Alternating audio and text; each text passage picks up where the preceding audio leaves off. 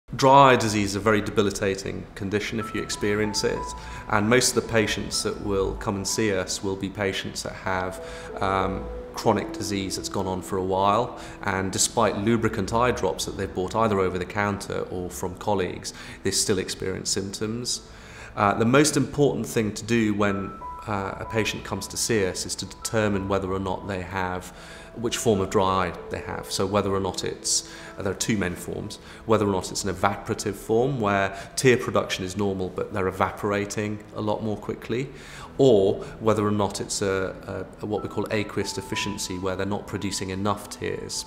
So either you're uh, aqueous deficient, you're not producing enough, or you're producing enough but they're evaporating, or you have a mixture of the two, so you have a mixed type of disease. And, um, and on the basis of de determining what's the main contributor, we follow the treatment plan uh, accordingly. So for example, for evaporative dry eye, often the, the lipid secretions from the eyelids are not normal, and we then need to recommend warm compresses uh, as well as lubricant eye drops. Sometimes we add in an anti-inflammatory drops. Um, sometimes we also use tablets that reduce the inflammation.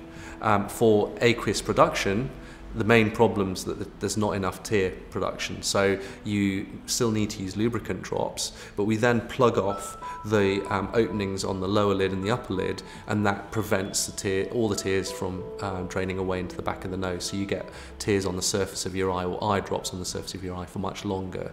Um, in very severe cases of aqueous deficiency, we need to use um, uh, blood products. Um, for the eye, and occasionally we use uh, pilocarpine tablets.